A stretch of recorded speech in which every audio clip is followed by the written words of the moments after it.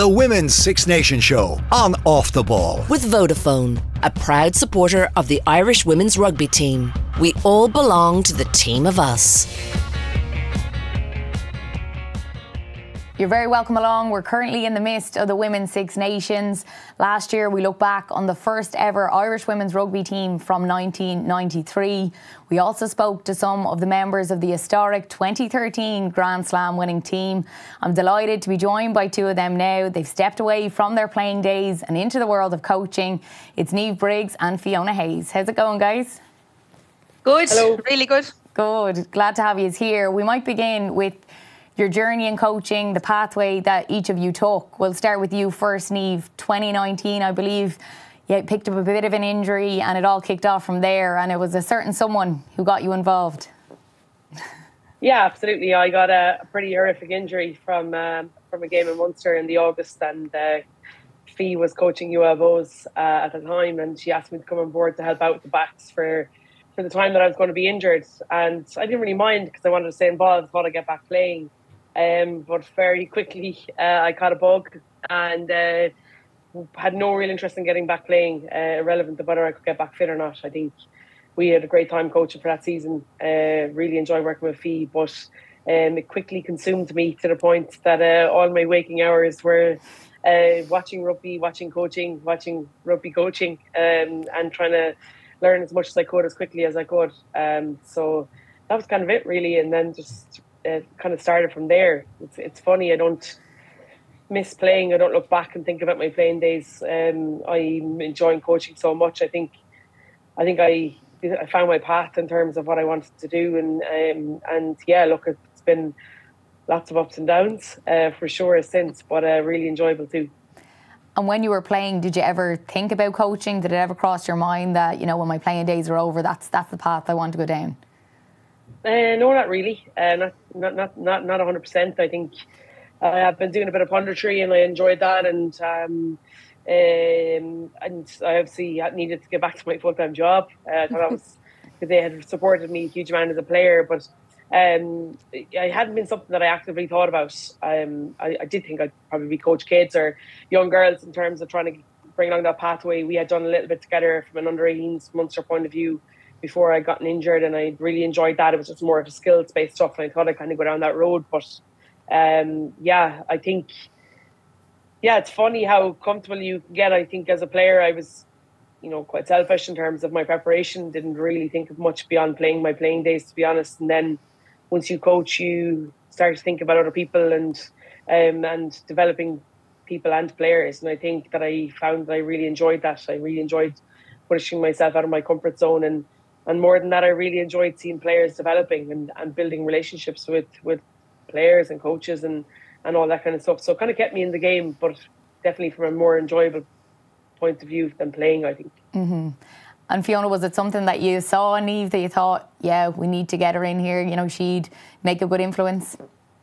Yeah, definitely. Um, like we all know, you see, I, I, will bring it back to that, you know, when you asked there as well about, you know, playing. I suppose Niamh was such a good player. She was absolutely like one of the, the world's best players when she was in top form with Ireland. I was never like that. So I always had an interest in coaching because what I had good behind me was that I loved the laws of the game. I loved the little nitty gritty parts of the game. So even for years before I finished uh, playing, I, I was coaching down in UCC and it was always something that I wanted to do because I knew I knew how to be great. I just wasn't that great. I knew I could I, I could try and explain it to other people. But look, um, I suppose with with Briggsy, um, uh, with Niamh, I, I would have seen like especially around the kicking game, skills in particular. She she was obsessed with um, you know um, catch, pass, and up in the level of skills. And when we played uh, in those levels, I uh, you know we didn't have the time now that they have. You know, Jim, it, it got better obviously as we got to the top of our game, but she was able to to see how skills could be improved in such a, a, a short, sharp kind of period of time. And when she talked to the players, she knew instantly by elbows, hands, kicking styles, all that kind of stuff. And if you're a coach and and you see someone like that being able to bring that onto a group of players, hey, work away, no bother with me. Yeah, I think maybe if you're in a dressing room with someone, you know, week in, week out, you see different personality traits. You know, if they're a talker in the dressing room, if they lead on the pitch, and you probably see that way. Okay, I think she could be an influence this way. For you, Niamh, what was it about Fiona? Obviously, she knew that she wanted to get into coaching from a young age. Yeah, look, I think I Fee knows how I feel about this. Um, I've said it to her so many times before, but she's definitely the smartest player I've ever played with in terms of understanding the game and living in the dark arts age. I think um, we didn't have a huge amount of players from a female perspective that could bend the laws like uh, and, and, get away with it, but also have a really good knowledge around what she could and couldn't get away with. And um, she'll tell you she wasn't the greatest, but for me, definitely one of the smartest, best players I played with, and I, I, I always remember that. But in terms of leadership, I think that was a big thing for me. Playing, I he was captain of the club when I um, when I was playing with Bohs for the last couple of years, and um, it's the knowledge around the game that was so good that like literally I was like kind of it made me go and watch a lot of rugby to be able to keep up with it. To be fair, and um, and definitely was a huge role model for lots of girls in that club. So um, she came back into the scrum session with us the last couple of weeks, um, and I know that girls were buzzing about that. But smartest, when you have those kind of smarts, irrelevant of what's going on around you, irrelevant of your body in terms of how powerful or quick you can be, you get away with so much. And um, I think like Hayes was, was, the epitome of that. It was. Uh, it was brilliant to play with and horrible to play against. That's a nice way of putting it, for sure. And Fiona, do you want to take us through then who you coach then at the minute? Um, yeah, so I'm doing a, a, few bits and bobs at the minute. I was uh, I was under Niamh with Munster Women's during the summer. We had a very successful interpros, and I, I really enjoyed that buzz of coaching. Um, I had been with Ballincollig up until Christmas, but I, I'm gone from them now in the AIL, and I think with Munster in particular, it brought back that buzz to me. That that's what I needed. I, you know, the girls in Ballincollig were everything, but I kind of lost it my way a tiny bit towards the end. And I found with Munster, I just found that buzz, and it, it's great because I'm down in Cork. I do um, Bandon Grammar is a school down here, and they've really looking to invest in the women's game because they've such a, a good boys rugby team, or you know, their senior cup and junior top cup are getting excellent. So they've I've been coaching down there, and it's great because you have first years to sixth years, so you have to you have to come up with all different types of drills to be able to entertain everyone and all different like types of level or different levels and some just want to play for fun some just want to learn the game and others want to go on and play represent Munster in Ireland so that's kind of brought back that little buzz in in, in organising sessions around fit and everything like that in and um, I, I I still am with UCC since um, 2009 I, have been there I was head coach for a long time um, and I just I just love the buzz of university rugby. It's it's very similar. I'm not head coach. I, I stepped away from that role. Mairead Kelly's taken over, but I go in and help with the forward stuff, and um, it's it's something I suppose I see a massive gap in rugby at the minute and how we can get these university girls playing a little bit more club rugby, or is it club rugby through the university? I don't even know what path, but I just do, I just know there's so much talent there, and I I, I feel like it helped me kind of last year, particularly down in Cork with the UCC and the step from Ballincollig or up to Ballincollig and and vice versa. So that that's kind of the bit of coaching I'm doing at the minute, and I'm and I'm always I'm on doing a bit of punditry as well. So so I'm keeping busy. I I, I took the punditry off Niamh's uh, back there. She was doing so well. So look, I, I I mean I'm enjoying doing both, but definitely with the coaching with Munster it, over the Christmas period, it just brought such a buzz back to me. Yeah, you said I'm doing a bit of coaching. Like that that's a little bit more than a bit of coaching. Like how do you balance all that and obviously different age groups as well. So the training I'm guessing is, is completely different as well. Yeah, it is, and you know what? Um, I found, and I, I, enjoyed it with Munster. When you get up to that um, that higher level, it's structured and um, it's a lot of game based stuff. Um, something, and I don't, and this is something about me. I'm, a, I'm slightly eccentric, so I actually love making up my own drills. I'll come up with these random drills, and at that younger age group, you can try and test it, you know, because they're they're having fun and and they're able to try it, and it will either work or it won't. But I, I that's what I love about the kind of underage stuff. You just get them to play ball. There's there's no giving out. Obviously, you're correcting little things, but you want them to be able to come to the age of 18, 19 and be still in love with the game, and and that's what I love about Bandon Grammar. As I said, I'm slightly eccentric, so I, I come up with all different types of things that will keep these uh, kids entertained and, and still in love with that game of rugby. I need to ask Niamh here. She's laughing her head off. So, what has she been at when she's at Munster? what drills has no, she brought in? to be to be fair, um, I just get random messages, uh, voice notes, or uh, on a training day or leading up to going. Uh, I thought of this drill, and I think it is, you know, and it's just like a. I'm, I'm, I need. I'm just like, yeah, great. I trust you to go and do do what you're really good at doing. So, um, but yeah, I'd always be giggling away in the background because uh, Fee's really passionate. In case you've not noticed, so when she's talking about something that she loves, i.e., rugby, or contact, or scrums, uh, you just get the elevated pitch of the voice and the rush of feet and uh, the hands are going. So, uh, but it was brilliant. A huge addition to our Munster coaching set up this year. So, um, no, uh, it's, it's uh, I'm just I'm giggling away because I can totally imagine it. I know it's like the passion comes through the screen here. I feel it as well. it's a great thing. And what was it like, Niamh? I suppose the dynamic when of you were coaching and Munster, and obviously such a successful season as well.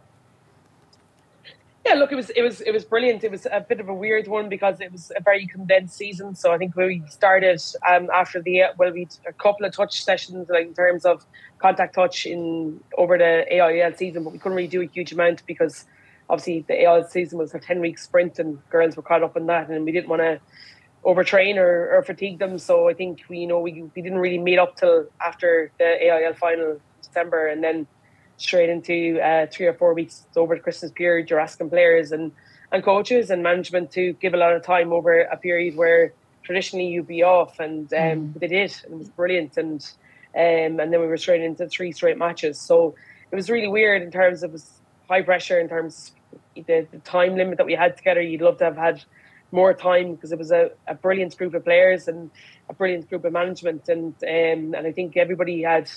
Um, you know, everybody got on, and when you're kind of driving that culture, and it's a it's a special thing we speak about Munster all the time. It kind of that that environment or that culture within the ethos of the club is is everybody together and everybody's kind of rowing in the same direction, and it's really really important. And I felt like we really hit the nail on the head with that this season. And you're with Munster, obviously you're in with Ireland as well. Is there any other other teams that you're balancing as well? Uh, yeah, so I'm head coach of the UL Bohs now. Took over from Fee when he went to Cork, and um, and then I coached a, a boys team. Um, it's like a um, on junior cup team before Christmas, and um, and then so I, I work as a guard, and on my my days off, I uh, throw myself into any of those um, Munster sessions, those boys underage uh, NTS or um, academy uh, senior sessions. Uh, the lads are really really good in terms of my coach development, but also um, getting an understanding of, of where the game is going um, from a the male side of things because uh, the women are it's a very different game, but mm. we've got to make sure that we're not falling too far behind. Um, so yeah, I think it's it, at the moment I'm trying to fit so much in in terms of teams that I'm coaching and, and and what I can do to try and learn as much as I can because I'm trying to fill myself with as much knowledge and development as possible so that I can probably set my own path if that makes any sense mm-hmm. in terms of where I'm going in my mind so um, but I'm loving it it's it's it's, it's it sounds mad because it sounds like I'm really, really busy, but the women's season is very compartmentalized. So the first block is literally just uh, AIL, then it went into Munster, and then we went straight into Ireland. And um, it'll probably not be able to to be done in the foreseeable in terms of where I'm going because of the way the season structure is going to start now. It's going to start blending. It won't be as compartmentalized. It won't be blocked off um, going forward. So um, I'm pretty sure there'll be decisions have to be made. But I'm I'm loving every second of it because you're getting to work with elite players, obviously that are taking the field against Italy this weekend, and then you're getting to work with players that play socially in terms of of with the club and UL Bohs. So it's like a huge range, and it's really important. And each of them give me a huge amount of satisfaction. So I love working with the elite type. I love working and building and growing that high performance setting. But from a club point of view, I love the fact that we're growing our numbers every week. We're able to put out two mm-hmm. teams every weekend. We've 40 odd girls training every Tuesday and Thursday. I love the fact that we cater for all of that. And um, and when you go to a seconds game on a Sunday afternoon at one o'clock and you see them doing stuff that we've done at training during the week, that gives me as much satisfaction as I get when I'm up in, in Ireland camp. So um, it's been brilliant and it's been really, really good for my development as well. Yeah, working with all the different levels, I'm sure it's a, a great learning curve. You're constantly learning, and you know, as a coach and wanting to progress, I'm sure being in with a team is is the best way to do it. How has it been so far with Ireland? Yeah, look, we're both very aware of where we are in terms of the development of this group and the squad. I think um, we're not hiding away from the fact that uh, the first couple of games have been really tough for us. Um, but when you take that away and take that results driven, and I understand you can't really do that in high performing environments because it's results driven process. But I feel like we're getting better every week. Um, we've an incredibly young group of players, especially from a backline point of view. Um, you know, we're talking three or four of that seven that start there in between 18 and 20 years of age. And the expectation and the development for them to do it on the international stage is a really tough learning curve. Mm-hmm. But I think when you take that emotion away from it and you look from a, a, a detail point of view and an execution point of view, we're definitely getting better. Um, but we still have a lot of improving to do for sure. But I'm really enjoying it. I'm, yeah, from a coaching been, point of view. It's been hectic. Brilliant. That's great. You're still enjoying it. And, you know, I think when you have those hard times, do, do you learn a lot in those moments? Yeah, hugely. You learn a lot about yourself, um, for sure. You learn a lot about your mentality in terms of mm. your ability to remain positive and but very real. I think that's very important. Uh, we can't gloss and patronize ourselves in relation to where we are. Um, I think we learn a lot about the group, the players that we have, about how resilient they are. That mm-hmm. on Monday mornings we can have a very tough and honest review.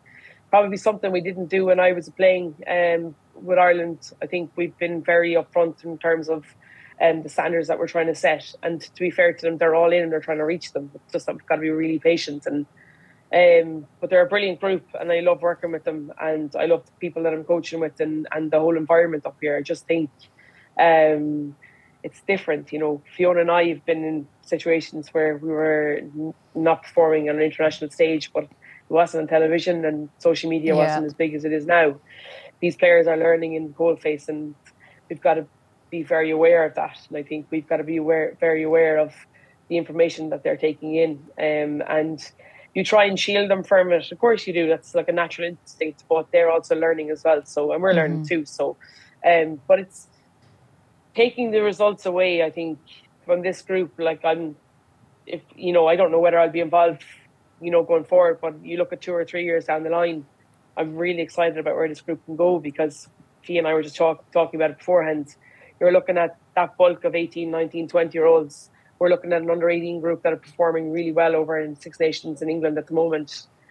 Like it's there, it's just that it's not, we're just missing that group of 23, 24, 25 year olds that have that maturity and that understanding of what it takes to be at that international stage. Mm-hmm. Um, so hopefully we get there soon. Absolutely. And just when we were talking about there, the difference, I suppose, in how the game is always evolving, Fiona. So when you maybe started out as a coach to now, how much has it changed in terms of on the pitch stuff to off the pitch stuff? Um, yeah, look, it's it's changed in a lot of areas. I suppose when I when I started out as well, I mightn't have been as detail focused um, in what you're doing, you know, because when you started out, there wasn't a lot of pressure on you know exact skills, whereas the, the game is just getting better and better, and we've seen it from a, from a, a skill set from a man from men's point of view, and I think mm-hmm. the women's game is going in the exact same direction where everything is split second decisions. Um, not that it wasn't before, but I, I just feel like it's pressure and as a coach and I suppose with Munster just at that it, it wouldn't be as high performance as Ireland but just in that environment this year you can see that there's a lot of external pressure on these players now and you know there's you're you're dealing with when we played you're dealing with very similar players. We all just went in and done it and that. Now you're kind of dealing with contracted players players who weren't offered contracts when you're when you're in that high level. You know, players that might only ever want to play with Munster, never want to play with Ireland, and then you've young players who are mad into TikTok and doing a dance and Mary over in the we corner. We still have them. we still have them in six, in, in Irish camp. That's the important there's uh, stuff. A, there's a group of them. Yeah. yeah, and you're trying to blend, and and that's what I love. It's trying to blend all these together. I, I think about it. I laugh when I think about the likes of Fiona Coghlan or Lynne Cantwell. If I got out in the dressing room and started doing a dance to my phone before a game or you know the, we would have been killed but that's the joy of, of life now. It's so exciting trying to bring these players in and mixing that old kind of level with the new level and just getting the best out of people. Um, so the difference is definitely massive in the external pressure and, and how things are done. But but as a coach that's what I thrive on. I, I, I love trying to blend all these different type of characters. I think if if someone is uncoachable in those I'm going to put those those words in brackets. I, I never see that. You know I, I, feel like you have to try and find the sweet spot. Someone will always have something that you'll be able to look on and look you're going to get different attitudes everywhere but it's it's about as a coach I love the, the idea of going behind the scenes and trying to figure out how I can get them to buy into to my crazy train mentality in between their TikToks though yeah yeah obviously the Women's Six Nations show on OTB with Vodafone, a proud supporter of the Irish women's rugby team. We all belong to the team of us. And when we're looking at coaching, Fiona, do is there a pathway for, for young girls now listening? Maybe, you know, maybe they're coming to the end of their playing careers, whatever it is, and they're thinking, okay, I want to get into this. How do they get involved? What are the opportunities that are out there for them?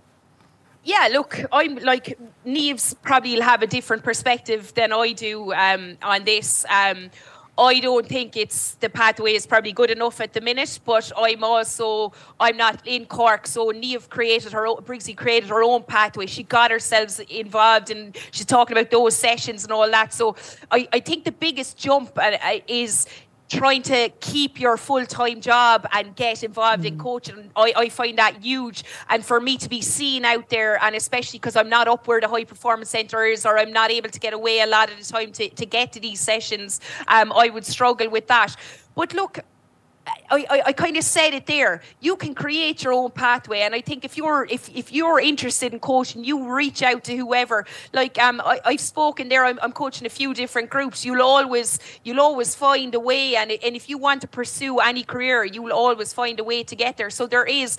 I personally think it could be better, kind of um, laid out and maybe nurtured.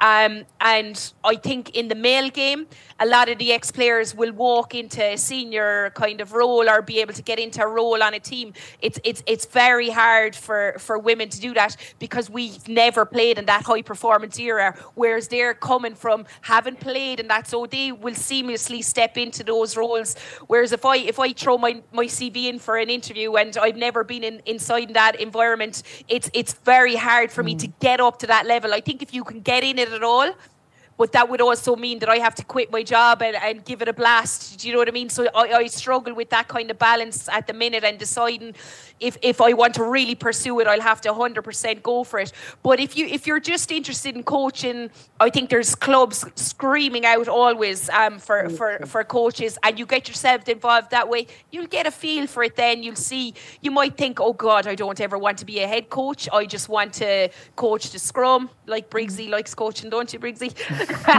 or, or whatever area of the game. Or else you could think like I, as I said, I love that player mentality. You can get into that side of things, and head coaches can organise that different stuff. So I think there's always a pathway from my perspective. I think there's a there's a lot of trees and different things in the way on that pathway, and and I've struggled to try and gain my way through it. But um, but I'm kind of assessing that now and having a look at that now. So I'm kind of at a crossroads in that, um, and that's where I'm at. But definitely, clubs are always screaming out for coaches. You've just got to make yourself available, and as long as you enjoy it, I think stick with it and go all the way you can. Niamh, what do you think? Is there a structure in place? It sounds like there's not so much. It's sort of up to yourself to go out and sort of find those opportunities. No, look, I think Fiona's hit the most important in the head that from a club point of view, uh, clubs are screaming out for coaches. Mm-hmm. We, you know what I mean? We're both are the exact same. We're looking for coaches all the time, and um, and there is a pathway for that domestic game type of coaching. You know, there's coaching courses that are run provincially for for that. I think what Fiona's talking about trying to break through is break through into that high performance, that full time mm. professional setting. That's really difficult. It's really difficult from um, a male's um, point of view in terms of there are only five professional teams in Ireland, the four provinces and the Irish men's team. And when you think about the female game, you're thinking of even smaller portion to that because it's literally just um, the national the national team in terms of Greg and John um, and and the mm-hmm. players that are contracted. So right now it seems like it's a difficult thing to try and push through to that elite level in terms of a full time coaching role. But I don't think it's far off. I, I really don't. I think I think the game is evolving so fast. The resources that are being put in now on the back of things over the last couple of years are are, are so big that it, it can't be contained to just have one two a two person thing with you know a certain amount of players. It's it's going to have to evolve the whole way through. And we see, you know, recently the RFU are looking to appoint eight full time staff, two in each provinces, one to work at Talent ID mm. and, and nurture that pathway with an S&C coach. And, and that's huge. That is valuable resources being put into each provincial hub so that there is somebody full time looking after looking after the pathway of 16 year olds and up. And I think that's something the game has been crying out for for a very long time. We've mm-hmm. spoken already about missing that age gap. And I do think that that investment is huge. Um, but from a domestic game point of view, from wanting to get into coach schools and, and AIL clubs, there is pathways in terms of there's coaching courses within your provinces and they're really important and they're run like two or three times a year. And I think on the back of that, clubs will be willing, like they'll pay for those coaches because, or those courses for you because they want you to coach. And mm-hmm. and if you if you're if you're in it and you love it, you know what I mean, it becomes a very easy decision to make. I think it's when, you know what I mean, once we create that pathway for them and, you know, we can definitely do more. I, I 100%, like I didn't, the RFU got, I, I can definitely do more in terms of that, but I do think that it's evolving all the time. And I think when we look at those new coaches that are going into those pathways, I think that's going to be huge for the game. And I think that investment will filter down then to the next set of coaches because they'll be able to build relationships and and and, and a rapport with club and school coaches within their provinces, and then all of a sudden they're getting better as well. So mm-hmm. it's got a knock on effect to all that. Um, so look, I think it's it's, it's on the road to, to getting better, um, and I and I just think that um, we've got to support that along the way. Yeah. You both spoke about the men's side of things. Niamh, you mentioned being involved with an underage boys team. I think before previously as well, Fiona, you mentioned being involved with one. Is the men's side of things, the men's game, maybe at a, a high level, is that a possibility, Fiona? Is it something that's crossed your mind that you'd you'd like to go that direction? Yeah, of course. I, I've thought about it. I was involved with Dolphin. It was like a J2 team, and it was one year, um, and I absolutely loved it. I was a bit nervous, I suppose, going in the, the first day of training, being like, are these guys going to listen to what this little ginger is rocking up and telling them what to do, especially scrum time? You know yourself, a J2 team know it all when it comes to scrums and, and picks and pick and goes. I couldn't possibly tell them one thing. But look, I absolutely adored it. I love that side of thing. They um they it's it's an age old thing that people say, but there definitely was less questions. They're they're doers. They like to, to get out and do it. You know, the women's side, you might get forty little questions, but that's that's just all part of the process. Um, I loved it. I'd love to get involved in um, uh, a higher level kind of uh, men's AIL team, but then that means stepping away from the women's side of things. Mm-hmm. I've been involved in the women's game for so long, so so that's a decision. And I'd also be, I suppose, bottom of the chain if I'm moving up to the, to anything got to do with the men's team. I'd have to try and build, start out, you know, um, I suppose in a role that you mightn't be getting paid for, and then try and build your way up to to try and get maybe a, a, a forwards or an assistant coach role. But it's it's it's definitely something um, I I've thought about because I watch enough men's rugby you know, uh, we all grew up watching because we didn't grow up watching women's rugby. Mm-hmm. So we've watched the game evolve as well as everyone else. So I, I, I'd love to get involved in that side of things. But as I said, I'm, I'm doing a lot at the minute. It's kind of, I, I'm, that's what I mean. I'm at that crossroads. Do I want yeah. to, to leave the women's game? Do I want to concentrate on underage? And that, they're decisions that I've had to make. Would I love to push up? I, I, I of course, I'd love to push up to high performance levels, but you're always questioning my, yourself when it comes to that. Um, you know, know, am I good enough? Um, do I talk the talk? Do I have the correct language? do, do, people want to listen to my Limerick accent? You do, Fiona, you absolutely do. but look, um, I love it. And um, Niamh uh, Briggsy has been involved in loads of um, guys kind of stuff over the summer, especially those camps and those junior cup teams. That's another side of things, which is is brilliant. Those junior cup and senior cup building those things. So I'm sure she'd be able to, like, from her perspective, she'd have nothing but positive stuff about that because she's so good and detailed, especially in her skills and how she coaches mm. the skills that those guys would absolutely feed off her. And and having her her kicking, you know, her kicking game, and her, she's always had such a good technique that I'm sure they've they've lapped up everything that she said in, in that environment. Yeah, what was that like for you, Niamh? Yeah, look, it was great. I think I was there more to learn from a coaching perspective um, as opposed to coach the boys. But I, I loved it. I loved every second of it. And I continue to do that. I'll continue to rock up to sessions in UL, whether they want me to or not, um, because uh, I, I'm learning loads from them. Look, it's, it's a funny thing. I think it, it, the, the breaking the ceiling of trying to get into the men's game is, is all well and good. But I think from a point of view, it's in my mind at the moment, for me, it's just rugby. So whether I'm coaching male or female, whether it's boys or girls, doesn't make a difference. I think my passion at the moment, similar to Fees, is, is developing the women's game to get to a point where we can um, actively have competitive domestic game. We can actively have a competitive interpro into an elite system. And I think that's been really kind of where my focus is at at the moment. And um, I do love to go out to those underage um, sessions, the NTS boys, the the the academy and uh, and that because you're just getting a different viewpoint. You're getting an understanding that um, you know if you're coaching a girl that's 18 or 19 um, with a training age of a year or two, and you're coaching a boy who's in a senior cup school and his training age could be for you know 15 years.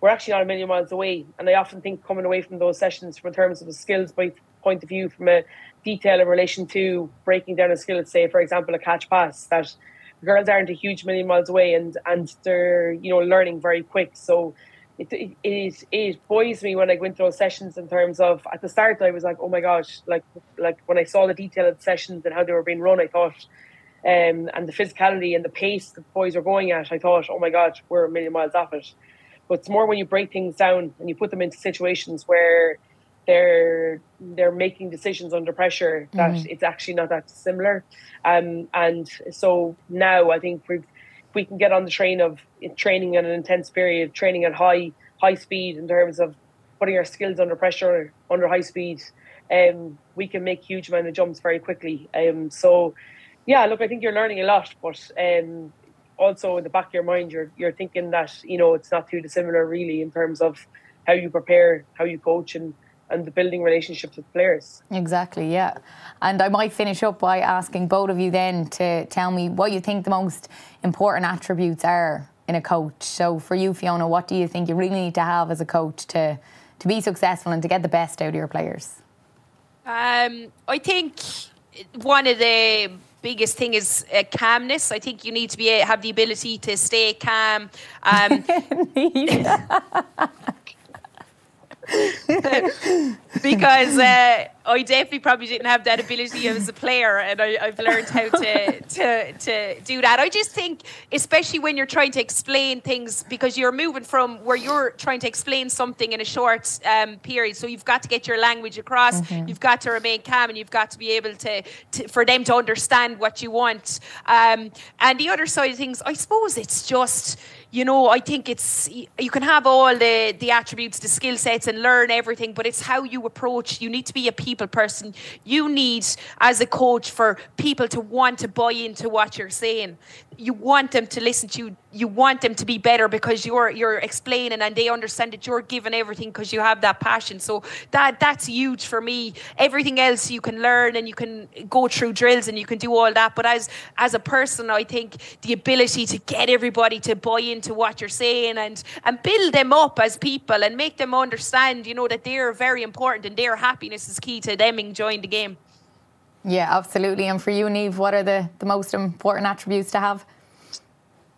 Yeah, look, I think it differs. I think the most important thing, irrelevant of whether you're head coach or assistant coach of whatever, it's got to build relationships with people. You've got to be able to have a, a, good sense of communication so that they can understand what you're saying and you can get the best out of them. I think you've got to be open and transparent in relation to how you go about your things and managing a group of people. So, like managing 30 women is pretty pretty difficult thing to do. Very so straightforward. You've got to be able to be um, open, open, open, and uh, and transparent with all that. I think if you find if you're open and honest with players, with people that you coach with, with management, you get it back in tenfold. I think that's really really important. I think from a rugby point of view, you just got to have, have an understanding of your technical and tactical awareness in relation to how you want to coach and what you want to coach and, and how you go, you know, and having that organization um, in the back of your mind in, in terms of what you're looking to do and how you want to do it. But it, it all comes down to relationships with people and, and developing that. And if they don't, if you don't, if you're not going to be able to communicate properly and you're not going to be able to show your vulnerability and your weakness, then you won't get you know what I mean? There there'll always be that little bit of a barrier between you and and your playing your players. And I think that that's really really important. It's probably the biggest thing that I've learned and um but also the biggest thing that I've had to do because I'm I a bit of an extrovert on the pitch but often I'm I'm very much happy enough to kind of be in the background and, and see um, and allow the likes of Fiona to do her TikTok dances and um, um, um, but when you're coaching, you just don't have that. You just can't do that. You've got to put yourself out there. You've got to be the one to walk into the room and to greet people. You've got to make sure that everybody feels included and um, and um, and and listened to. And I think that's really really important. So from that aspect, that aspect, I think that's probably my biggest learning so far. It's not really about the rugby. It's more about the people. People and the relationships that you build. Absolutely. Well, we've really enjoyed following your coaching journeys and we will continue to follow it. And the best of luck to both of you. Thanks so much for joining me. The Women's Six Nations show on OTB with Vodafone, a proud supporter of the Irish women's rugby team. We all belong to the team of us. The Women's Six Nations show on Off the Ball. With Vodafone, a proud supporter of the Irish women's rugby team. We all belong to the team of us.